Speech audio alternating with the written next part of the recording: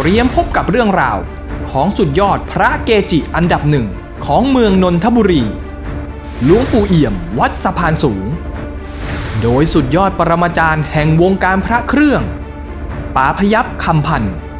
ทางช่องโทนบางแค FC ใน Amulet Story อังคารนี้สามทุ่มตรง